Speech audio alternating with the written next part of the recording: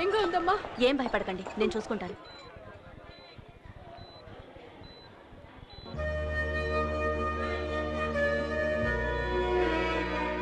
నమస్కారం అమ్మా. అంజలికి ఇప్పుడు ఎలా ఉంది?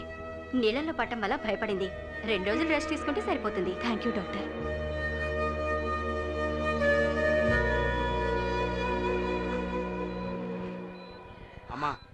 అంజలిని కాపాడింది ఎవరో ఎవరికి తెలియదమ్మా హాస్పిటల్కి అంజలిని హడావుడిగా తీసుకురావడం వల్ల అతన్ని ఎవరు సరిగా గమనించలేదమ్మా. అతను ఖచ్చితంగా కూలి పని చేయడానికే వచ్చుంటాడమ్మా. వాడు ఒంటరిగా అంజలిని మాత్రమే కాకుండా ఎంతమంది ప్రాణాల్ని కాపాడాడు. ఎవరి నుంచి ఏమీ ఆశించను కూడా లేదు. ఆ వేణు అమ్మా. అతనెవరో తెలుసుకున్నాను కలవమని చెప్పు. అలాగేనమ్మా. ఆ. అమ్మా ఆ తిరువురు వాళ్ళని ఇలాగే వదిలేస్తే మంచిది కాదమ్మా. అమ్మా మీరు మా అందరినీ ఓపిక పట్టమని చెప్పిన ఒకే కారణంగా మేము ఊరుకున్నామమ్మా. ఏది ఏమైనా మేము పోలీసులకి కంప్లైంట్ ఇచ్చామమ్మా. వాళ్ళు రుద్రపతిని అరెస్ట్ చేశారమ్మా.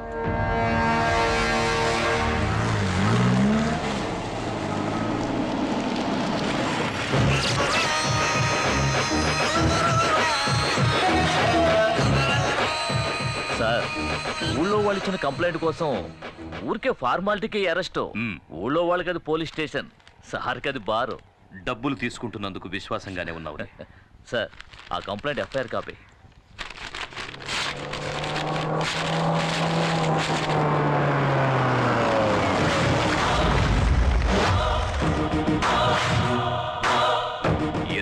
రాని వాళ్ళు వచ్చారే. అచ్చోసి ఊరు మీద వదిలేసావే నీ తమ్ముడు రుద్రపతి. వాడి కాళ్ళు ఈ ఇన్స్పెక్టర్ గారు ఎలా పట్టుకుంటాడో చూసి పోదామని వచ్చాను. జమీందారుని. ఈయనేం చేస్తాడో? జైల్లో ఉన్నాడే నీ కొడుకు ఈశ్వర ప్రసాద్ వెళ్ళి వాడినడుగు ఆ రోజు ఈయన నీ కొడుకును అరెస్ట్ చేసి నడ్డి మీద తన్ని వీధుల వెంట ఈడ్చుకెళ్తూ ఉంటే నొప్పి తట్టుకోలేక అమ్మా అని అరిచాడే. ఆ కేకలు నా చెవుల్లో ఇంకా వినిపిస్తూనే ఉన్నాయి.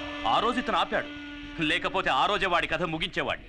అందుచేత ఇతని కాళ్ళ మీద పడి కృతజ్ఞతలు చెప్పి ఇక్కడి నుంచి వెళ్ళిపో. రేయ్ నాయుడు పగ నీకు నాకేరా? ధైర్యం ఉంటే నన్ను ఎదుర్కొని చూడరా? నీ ప్రతాపాన్ని తల్లిదండ్రులు లేని చూపించుకో. ఏయ్! ఇంతకు మించి ఒక్క మాట మాట్లాడావో ఆడదానివని కూడా చూడు నరికేస్తా. నరకరా నరకు. నరకేసేయ్. నీకు గుర్తుందా? ఇదే చేత్తో నీకెన్నిసార్లు అన్నం పెట్టుంటాను. అందుకు కృతజ్ఞతగా నన్ను నరికేరా నరికేయ్!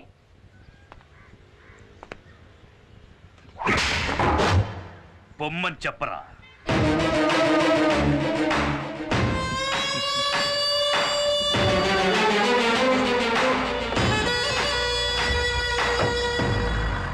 ఇదే లాయర్ గారి ఇల్లు. ఆహా సూపర్ కారు. ముందు వచ్చి డోర్ పీకేశాం అంతమంది జనం ఉన్నారేంటి? మనకి పోటీగా వచ్చారేమో. ఆ, లాయర్ గారు లేరా అండి ఉన్నారు. గుంపుగా వస్తే బావకు భయం. సార్ని అడిగానని చెప్పండి. వస్తాను. ఆ, వెళ్ళరా. Excuse me sir um? ఎవర్రా మీరు? లాయర్ గారు ఉన్నారండి. ఆ, నీ పేరు చెప్పరా? గిరి అని చెప్పండి. ఎవ్వరికి తెలీదు. స్పేర్ పార్ట్స్ గిరి అని చెప్పండి. అందరికీ తెలుస్తుంది. ఎవరు? ఇంకెవరు? నేనే బావ రుద్రని. నువ్వేంటి ఇక్కడ దాక్కున్నావు? నేను దాక్కోలేదు బావా. ఓ కేసు విషయంలో సెక్షన్ వెతుకుంటున్నాను అందుకే బయటికి రాలేదు. సరేరా. ఇది హత్య కేసు ఒప్పుకోవడానికి సిద్ధమేగా? అది కాదు కేసు గురించి కొంచెం వివరంగా చెప్పారంటే. ఆ, వివరంగా చెప్తాను. ఇక్కడ విదుర్లంక జమీందారులని బిచ్చగాడ వంశం ఉందయ్యా. అక్కడ ఈశ్వర్ ప్రసాద్ అనే అతను ఒక్క దెబ్బతో ఇతను లేపేశాడు. అదే మావాడైతే నలుగురు లేపేసేవాడు. ఆరుగురిని. ఓకే కదా? హత్య చేయబడ్డ వాళ్ళలో ఒకడు డ్రైవరు ఇంకొకడు వీళ్ళ నాన్న మా మామగారు. అంటే మొత్తం ముగ్గురు. ఏ వీళ్ళ నాన్ననయ్య మా మామగారు? సరే అయితే ఇద్దరు.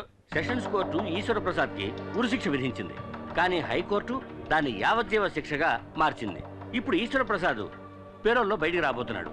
రాగానే అతన్ని వీళ్ళిద్దరూ హత్య చేయబోతున్నాడు అయితే హత్య ఇంకా జరగలేదా? కానీ జరుగుతుంది. ఖచ్చితంగా జరుగుతుంది.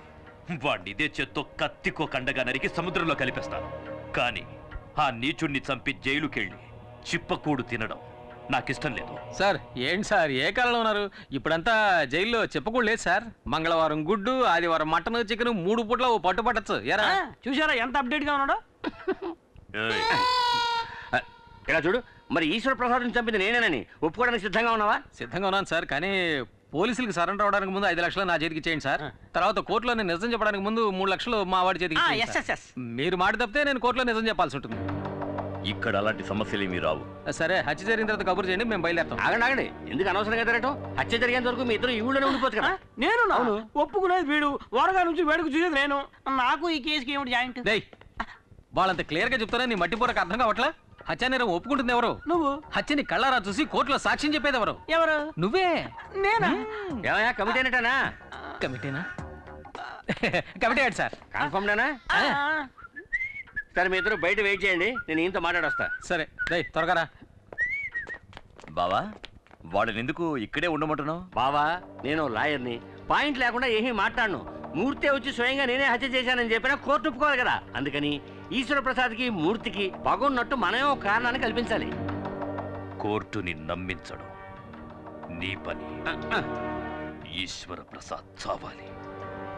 అది వాడి తలరాత